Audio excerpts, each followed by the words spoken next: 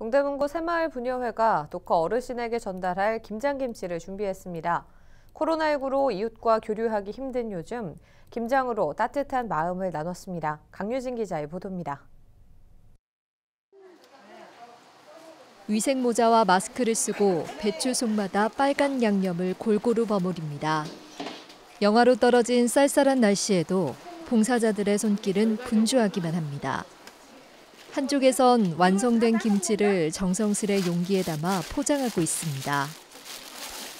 동대문구 새마을 분여회 20여 명의 회원들이 이웃에게 나눌 김장김치를 담그고 있습니다. 한겨울 추위에 코로나19까지 이겨내야 할 소외 이웃들에게 조금이라도 더 많은 김치를 전달하기엔 일손이 턱없이 부족하지만 사회적 거리두기 2.5단계에 따라 인원을 대폭 줄인 겁니다. 이날 준비된 김치는 절임 배추 20kg 50박스 분량입니다.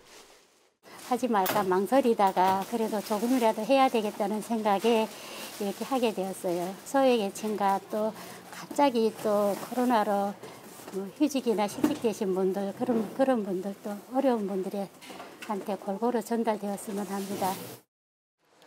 코로나19로 인해 이웃끼리 정을 쌓기 어려운 요즘. 봉사자들의 따뜻한 마음이 담긴 김치는 관내 어려운 이웃 160세대에 전달될 예정입니다. CNB 뉴스 강유진입니다.